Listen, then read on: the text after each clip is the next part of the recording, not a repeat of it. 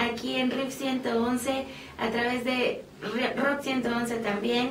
Y pues yo soy Sharon Jandet y vamos a empezar con una entrevista eh, que bueno, pues seguramente la, la toma está abierta. Entonces ya, ya pudieron observar a mi invitada del día de hoy y ella es Amanda Tobalín. Así que bienvenida. Hola, muchísimas gracias Sharon y a todos los que nos están viendo. Hola, ¿cómo están? Perfecto. ¿De dónde eres? Soy de la Ciudad de México. Ah. Mi familia es de varios lugares. Mi abuela es del sur de Yucatán y mi padre es del norte de Monterrey, entonces ahí hay un acento raro. Ajá, exactamente. sí, yo soy de aquí, de la ciudad. Ay, qué vaciado, te lo juro. Yo dije, ¿será del norte? ¿Será del norte? ¿De dónde? Pues de los dos lados. Por esa razón. Eh, entonces esa mezcla pues ha sido como parte de tu vida siempre. Sí, sí, también eh, pues trato de hablar mucho en mi música sobre eso, ¿no? Porque son culturas eh, muy opuestas, ¿no? La cultura yucateca, sureña, caribeña y la cultura del norte, los regios, ¿no? Pero al final cultura mexicana, ¿no? Dentro del amplio universo, ¿no? De lo que es la cultura mexicana. Exactamente. Oye, ¿y cómo, platícame, este, a, los cuántos años empiezas claro. con, con ese gusto por la música? Pues mira, desde chiquita siempre me gustó mucho este, la música, pero no empecé a estudiarla hasta ya, pues que decidí mi carrera, ¿no? Que quise hacer composición.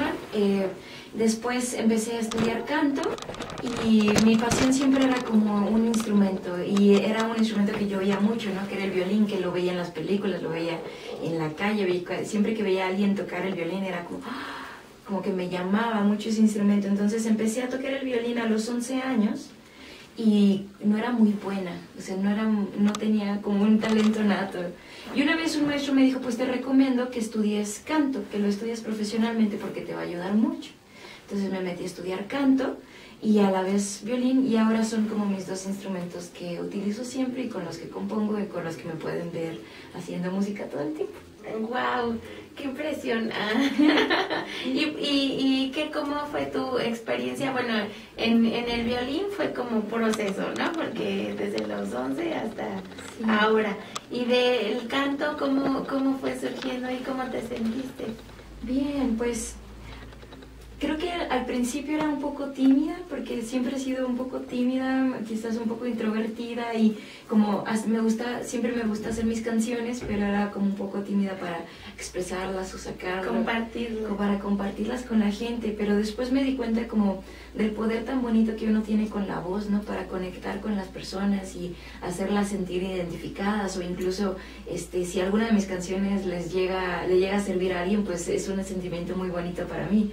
Entonces eso me, me, empezó a animar como que poquito a poquito irme soltando, hacer, hacer mis propias letras, juntarme con músicos que pensaban igual y que sentían lo mismo sobre la música y todo el poder que tiene la música. Y pues ahorita ya me siento como más cómoda. Claro, siempre de repente hay escenarios en los que digo, ay, qué pena me da, ¿no? De repente hacer una canción nueva. Pero, pero sí, me, me siento bastante cómoda, sobre todo porque en todas mis letras pues trato de hablar mucho sobre pues mi vida, ¿no? Lo que es como ir creciendo, ¿no? Las diferentes etapas de la vida, este, ir aceptando quién eres, irte, irte conociendo y también pues lo que más me inspira a mí a escribir es la gente, ¿no? Las personas, ¿no? Entonces mi familia, mis amigos, todo, toda la gente que conozco me inspira de una forma, entonces es muy bonito. Mm, qué padre. Bueno, ¿y este es tu primer EP? Sí, ese fue hace cuánto... Pues mira, en realidad el proyecto que yo tengo es un proyecto bastante joven. Tengo cuatro años apenas con este proyecto, pero han sido como años muy fructíferos, son como años perro, ¿no? Todo, todo pasa, ¿no? sí, entonces apenas en el 2014 decidí hacer este EP, que tiene una historia muy bonita porque nunca estaba, estuvo destinado como a salir al aire. En realidad era como una serie de demos que yo hacía para poder ingresar a la escuela y que cuando como los grabé con músicos muy buenos, como que al final me sentí animada de sacarlo, eh, pues editarlo de una u otra forma. y yo no tenía como idea de cómo funcionaba el mundo de la música en ese entonces, pero la, la gente me fue apoyando, me pidieron que lo fondeara, lo fondeé. Eh, la misma gente diseñó la portada, ¿no? Me empezaron a regalar como como eh, yo te regalo el diseño de tal, yo te regalo, te regalo la distribución digital. Y de repente me di cuenta y había gente que me decía, oye, yo estoy en Argentina y te estoy oyendo y me gusta. Entonces eso me animó mucho. Dije, bueno, el, el primero fue sin querer, ahora vamos a hacer uno con toda, con toda la causa. Entonces, un año después, en el 2015, empecé a hacer eh, Punto de Partida, que fue mi primer disco de larga duración. En este pues ya tuve la oportunidad de compartir con muchos eh, músicos que admiro mucho. Es un disco muy orientado al jazz, porque mi formación es muy, mucho orientada al jazz. Entonces hay muchos músicos que son del, grandes, ¿no? De, músicos de la escena jazzística mexicana, como Iraida Noriega, como Alex Mercado, ¿no? Eh, que fueron también mis maestros y, y, mis compañeros y mis gurús, ¿no? Entonces que me apoyaron en todo eso. Y pues nada, ese, ahí me ayudé a como a formar un poquito el sonido que ahora manejo, que es, que es jazz porque tiene toda la armonía moderna, contemporánea y la improvisación y, y el nunca saber qué es lo que va a pasar, pero al mismo tiempo es folclore porque estoy muy apegada como a los diferentes sonidos que tiene todo nuestro abanico de, de música tradicional, no solo mexicana, sino latinoamericana. Entonces puedes encontrar música desde un son cubano, una chacarrera argentina, desde música brasileña, desde música del istmo de Oaxaca, todo eso a mí me, me, gusta mucho, entonces son elementos que uso en toda la música y el resultado pues ese es como un jazz folclore. Aquí bastante. está el resultado. sí. Wow, la verdad se oye súper bien y quiero pues obviamente invitarlos a todos a que, a que lo escuchen. Oye, y ahora dime, ¿cuál fue la, la diferencia de grabar este a este? Experiencia de grabarlo. Pues todo, sí, es, es, fue una gran diferencia. Yo creo que todos los discos son como tus hijos y en algún momento te van a hacer llorar por lo difícil es que los ves, ¿no? Yo sí, sí sentí, por ejemplo, en el primer disco que no tenía ni idea de lo que estaba haciendo. eh, pero es, pero, pero ya lo veo como tres, cuatro años más tarde y digo, wow, aprendí mucho de eso, ¿no? De no saber. Cometí muchísimos errores, ¿no? Desde el estudio que quería, ¿no? El tipo de grabación, el tipo de micrófonos, eh, cómo hacer los arreglos, ¿no? Cómo, cómo dirigir a la banda, ¿no? Porque también si quieres ser músico independiente hay muchos detalles, ¿no? Sobre si quieres ser tu propio director musical, si no quieres que nadie te diga cómo debe sonar tu música, tú debes prepararte, ¿no? Entonces, pues no hay otra mejor manera de que equivocándote y equivocándote. Y eso fue como algo que aprendí mucho, que sentí que me equivocaba, pero que cada vez que me equivocaba decía, no, esto ya no lo vuelvo a hacer. Y, y en el siguiente disco fue muy chistoso porque yo ya venía muy preparada y aún así sigues cometiendo errores, es algo muy chistoso. Y ahora que estoy como reproduciendo mi tercer disco, digo, no, ahora sí ya no me van a agarrar en curva, pero nada más estoy a la espera de ver ahora qué va a pasar. bueno, pero es que también es un crecimiento, ¿no? Claro. Y seguramente los errores que sucedieron en este no fueron los mismos en este claro. y, y, todo en una evolución. Sí, y todo tiene que ver mucho con el, el momento en el que lo grabas y pues una sesión de grabación es muy azarosa en un sentido que nunca sabes realmente qué va a pasar, no sabes si van a funcionar los micrófonos, no sabes si la guitarra se te va a desafinar en el momento. Siempre tratamos de prepararnos, pero... Eh, y creo que esa es parte como de la magia, ¿no? Como recordar esas anécdotas. Por ejemplo, en, el, en este primer disco, en medio de una de las canciones, se cae un micrófono haciendo... ¡pah! Y luego, y luego ya lo vi en la mezcla y dije, me gusta ese efecto, entonces lo dejé porque también como que le da un sello, como que dices, bueno, esto pasó por esto y, y lo hace sonar como muy especial, según Claro. yo. bueno, pues es que a lo mejor en lugar de, de decir otra vez, borrón y cuenta nueva, pasaste encima y, claro, y lo tomaste, lo hiciste parte de ti. Exacto, ¿no? Creo que es la idea y divertirse siempre con, con, con el proceso, porque son procesos de muchos años de preparación y luego estás en, ya en el estudio y todo va muy rápido, entonces si tú caes como ante el estrés, luego tiendes mucho a, a, a no disfrutar lo que estás haciendo o a olvidar por qué lo estás haciendo, ¿no? Y creo que eso es importante, como al final lo ves y dices, bueno, lo sufrí, pero ahora está aquí y lo disfruté y fue un aprendizaje. Y, y la verdad es que para, para los pocos años que tienen, pues el resultado es muy bonito y se nota porque, eh, pues con este disco, por ejemplo, con el punto de partida, fuimos número uno de los 10 mejores del 2015, compitiendo con proyectos que ya tienen varios años, ¿no? Tuve la oportunidad de, irme a la India a, hacer, a presentar mi proyecto en el Festival Internacional de Jazz de Nueva, de Nueva Delhi, ¿no? Ay, qué Entonces, pues sí, o sea, ¿Y como qué que, tal? ¿Cómo fue el recibimiento? Fue muy bonito, la verdad es que la cultura hindú es muy parecida a la nuestra, en, en un sentido como eh, desde visual, como nos vestimos, como hablamos, hasta en un sentido como muy humano. Como yo siempre he dicho que algo que caracteriza mucho al mexicano es que tiene un gran sentido del humor. No importa qué tan mal se le esté pasando, siempre va a ser una broma. Y, ajá, y, la gente hindú es muy parecida en ese sentido. Entonces era como muy fácil compatar y, y, como fueron muy lindos. Me llevo como muy, muy buenos recuerdos de esos días. Ay, qué padre. La verdad es que eh, pues son grandes experiencias que te van enriqueciendo, ¿no? Y, y, que todo lo que me cuentas, como bien dices, son como años perro, porque sí, porque sí, en poquito tiempo eh, han sucedido tantas cosas y tantas, tantos recuerdos, tantas memorias que definitivamente eh, pues te, te van empujando a hacer algo más, ¿no? Claro, sí, la, la, verdad es que yo de repente veo y digo, no puedo creer que en un año hice todo esto, fui a tantos lugares, conocí a tantos músicos, eh, es muy bonito y también como que me alegra mucho saber que, que, es la vida que elegí, ¿no? Al final del día, porque es muy padre saber que, que tienes toda tu vida para seguir creciendo de una manera u otra, ¿no? Y veo veo como a muchos músicos que admiro y veo cómo siguen aprendiendo y creciendo y como cometiendo estos errores que muchas veces tenemos miedo a equivocarnos, pero yo veo muchos músicos eh, con más experiencia cometiendo estos errores y divirtiéndose, que a mí me da mucha, mucha fe, ¿no? Entonces, eso, eso significa, y, y esa es una de las razones por las cuales el disco se llama Punto de Partida. Era como una, de la, una forma de decirme yo a mí misma que era una promesa de que venían varios discos más. Ahora ya eh, espero ya en abril o mayo poder grabar mi tercer disco. Entonces, pues ahí ya eh, pues podré contarles qué nuevos errores estoy haciendo y qué nuevas experiencias traen consigo. Oye, ¿y este eh, quién lo grabó? Este se grabó en dos partes. el ingeniero fue Alonso Magaña y la base, toda la base rítmica se grabó en Artco, en, un estudio, y todo lo demás lo hicimos en un home studio, todas las voces, instrumentos invitados, este, todos los coros, digamos, se hicieron en Somos, que es un estudio muy pequeño, casi un home studio que está en la colonia Narvarte, pero muy, muy bonito porque eh, Oídos de Oro, que es, eh, una, es una sociedad de ingenieros y eh, productores musicales que hay en México, nos prestó el equipo para poderlo hacer en nuestra casa. Entonces lo, lo, grabamos con la ayuda de ellos y lo hicimos pues muy cómodos en nuestro home studio, con, a nuestro tiempo. Exacto.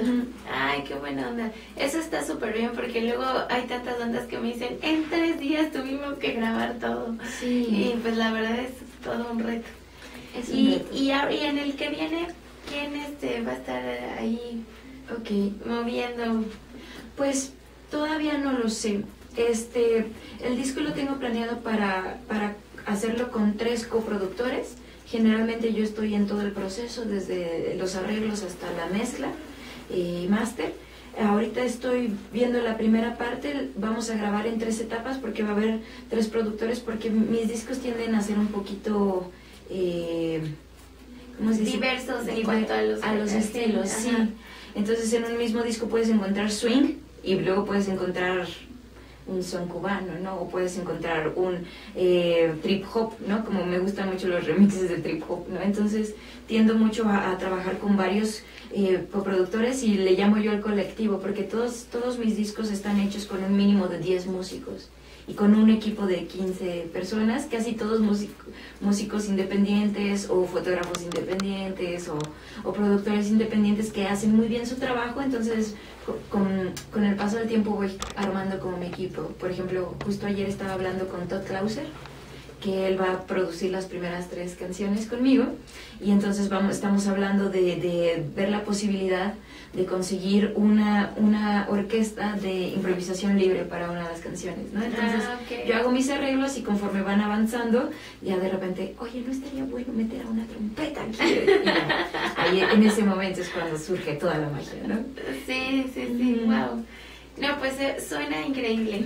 Oye, y dime si, si te fueras a vivir a otro lado, ¿qué extrañarías de México? Wow, pues todo, todo. O sea, yo como que... Ay, no sé, es una pregunta muy difícil. Yo creo que todo. O sea, por ejemplo, mi comida favorita siempre ha sido la mexicana. Y he tenido la oportunidad de probar distintos tipos de comida y siempre digo, no, la mexicana. Regresa. Sí, regresa. Mi arroz. Sí, la, la amabilidad de la gente, ¿no? Como esa capacidad de... Siento que estamos viviendo un, un, un periodo muy duro y aún así eh, como ver la calidad de la gente a mí es algo que me impresiona mucho, ¿no? Porque todo, todo el tiempo siento que si aprendes las noticias, si aprendes la radio, todo el tiempo estamos siendo pisoteados de una u otra forma. Y yo creo que es un sentimiento general, pero aún así la gente, hablas con la gente y te muestra una sonrisa y te muestra esa calidez, que, que si uno ha tenido la oportunidad de viajar a todos los países, no quiere decir que no la tengan, pero la amabilidad del mexicano sí es algo muy especial, ¿no? Como algo muy, muy lindo que tiene, que, que es, es, es muy padre como como apreciarlo, porque muchas veces estando aquí no lo aprecias. Sí, como que es, ay, normal, ¿no? Claro, pero luego ya sales y te vas al extranjero y resulta que no son tan amables como en tu país, o, o a lo mejor su cultura no es tan cálida. Y no está mal, pero a mí me gusta mucho como esos recibimientos tan efusivos, me gustan mucho esas risotadas que soltamos, eh, no sé, como que me siento extraña cuando estoy en el extranjero y voy, voy en el camión y, y todo el mundo está callado, ¿no? Y yo siento la necesidad de hablar. Como ese, mm, está muy solo Sí. esto. y si alzas la voz todo el mundo te voltea a ver porque tú eres la extraña. Eh, Como ese tipo de cosas a mí me gustan mucho. Somos una cultura muy colorida y eso es como padre verlo. Pues muy interesante. Oye, ¿y qué viene para, para ti, eh, aparte de la grabación, este año? En cuanto a presentaciones, en cuanto a, a estos, bueno, vamos empezando el año, tenemos todavía bastante. Claro. Sí, pues este ay, pues muchos muchas cosas muy bonitas. Este, por un lado, pues voy a estar haciendo la grabación de Crónicas, que es el tercer nombre del tercer disco. Eh, por otro lado, tengo la oportunidad de irme a, Euro- a Europa. Voy a estar en, en Irlanda, en Ámsterdam y en Madrid en el mes de mayo. Y antes de eso, pues tengo varios conciertos aquí, tan, tanto en la ciudad como en estados, que ya he tenido la oportunidad de visitar, que son muy lindos, que la gente siempre me recibe bien. Por ejemplo, ahorita en febrero vamos a estar el, el 14 de febrero en Bajo Circuito. Mm, claro. El 18 de febrero hay un festival muy bonito que es la primera edición, digamos, del festival que se llama Acústicos del Parque, donde voy a tener la oportunidad de, compartir con pues muchos ah, nuevos autores de la canción, de las nuevas generaciones, entre ellos pues está Leiden, Loli Molina, está Madame Recamier, estamos, estamos varios, es un cartel, cartel bastante interesante. Y es un festival completamente acústico en medio del parque, es decir, no hay ningún tipo de conexión, solo nosotros, nuestras guitarras, nuestras voces Y la gente. y la gente. Entonces la idea es como hacer a la gente parte de la música. Entonces vamos a ver qué también logramos eso.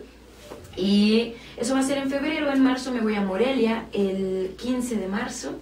Y también me voy al Circuito Cultural Mexiquense el 16 de marzo. Entonces viene, se viene buena la, la agenda. Entonces yo siempre los invito a que si les gusta lo que oyen, este, lo que van a oír, y pues que conozcan mi propuesta. Estoy en las redes sociales como Amanda Tobalín, ahí como está el disco, Tobalín con V. Y pues en eso, en las mismas redes estoy en Facebook, en Twitter, en Instagram, en todo. Entonces, pues si les gusta lo que oyen, pues que estemos en contacto, ¿no? A mí me encanta contestar siempre sus correos, este, estar viendo lo que me, lo que me comentan, siempre trato de contestarles. Y pues si hay alguna oportunidad de que nos conozcamos, de que haya algún concierto cerca de ustedes, pues ahí nos vemos. Perfecto. ¿Y, eh, eh, te podemos escuchar digitalmente en, en qué plataformas? Pues eh, ahorita estoy en todas, estoy en Spotify, también en SoundCloud. Este, la primera semana de mes siempre dejo descargas gratuitas en, en el SoundCloud. Ya después las paso a Spotify, entonces aprovechen siempre la primera semana de mes para que puedan descargar gratuitamente toda la música. Y también tengo un proyecto muy bonito que se llama Composiciones al Instante en mi canal de YouTube, que no son canciones destinadas a estar en ningún disco mío, porque son canciones que en las que me junto con otros compañeros músicos muy buenos eh, de cualquier estilo de música, desde rock, jazz, pop, todo, y hacemos una canción en una sesión en vivo. y el resultado siempre lo grabamos en el canal de YouTube y entonces ahí pueden ir checando las composiciones al instante que Ah, vamos subiendo al padre. mes. Hay que escucharlo, no Sí. se lo pueden perder. Y última pregunta, para ti el Internet, ¿qué ha sido? ¿Un aliado o un, o un lastre o, o qué? ¿Qué ha sido para ¿Qué ha ti? sido?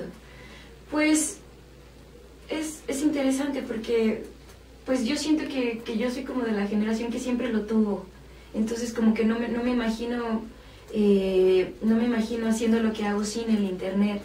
Por un lado es- está padre porque alcanzas lugares que nunca, que nunca habías logrado antes. Por ejemplo, de repente me llegan cartas de Japón, ¿no? O de Alemania. He tenido la oportunidad de conocer a músicos de otro lado del mundo que nunca he visto físicamente, pero que me dicen, me gusta lo que haces, hagamos algo juntos. Por el otro lado, pues la- el Internet lo que hace es como sobresaturar a, a- todas las personas, ¿no? Todo el tiempo tenemos un exceso de oferta y todas las ofertas generalmente son buenas, ¿no? Porque el nivel musical de México pues es bueno en general. Entonces, pues una persona que, que está viendo YouTube al día va a encontrar un exceso de, de- información musical y cuando se acabe ese día, pues mucha de esa información se le va a haber olvidado porque todo el día estuvo todo el tiempo saturado. Entonces eso hace nuestro trabajo un poco más difícil Sí, en el sentido de que tenemos que estar generando más información, ir a un paso más rápido.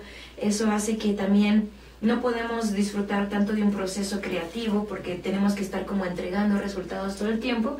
Pero bueno, pues no sé, o sea, te repito, yo así, así me tocó desde el principio. así, así. Así, así. Entonces, eh, no sé, creo que hay buen- cosas buenas y malas y hay que saberlo explotar. Y también, pues, si, si al final del día alguien este, resultó que le servía alguna de mis canciones, yo con eso estoy más que satisfecha.